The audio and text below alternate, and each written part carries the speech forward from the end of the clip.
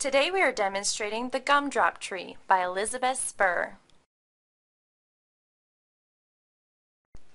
The Gumdrop Tree is a tactile storybook with raised line drawings and textured gumdrop shaped stickers to help children learn shapes and patterns.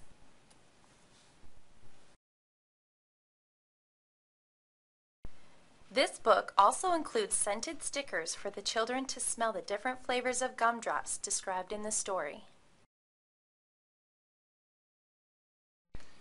The Gumdrop Tree has braille lettering and is a wonderfully interactive book for children between ages 3 and 5. Watch children learn, grow, and laugh with the Gumdrop Tree.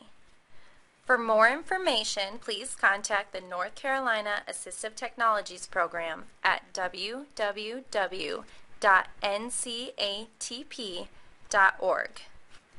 This video was brought to you by the students in the Occupational Therapy Assistant Program at Durham Technical Community College.